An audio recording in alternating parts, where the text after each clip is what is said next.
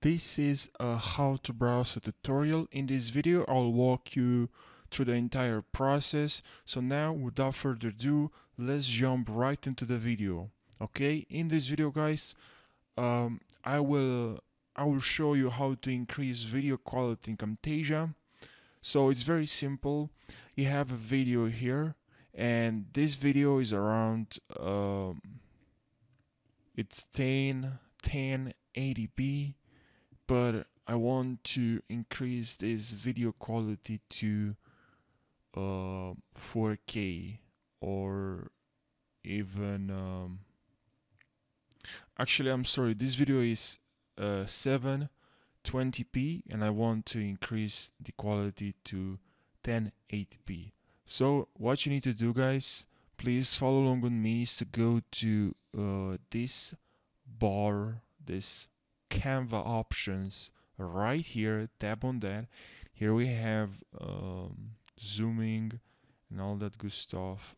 And but we also have project settings. So please tap on project settings and here we have um, so that's my that's the the, the original resolution of this video. If you want to set this video to a higher resolution to increase the quality you have to not necessarily increasing the quality, but will really help um, will help the the resolution. Okay, will increase the resolution of the video, the dimensions of the video. So if you go here and select now, you'll have uh, 1080p, and now we have 4K as well. If you select if you want 4K, simply tap on 4K, select 4K, and now tap on OK, and now you just need to resize the video.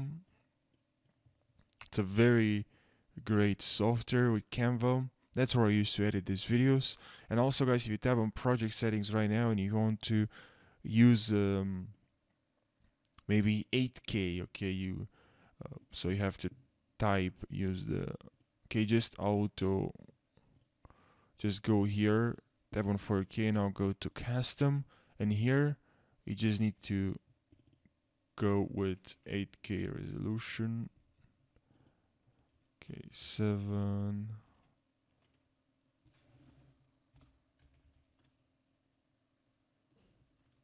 Four.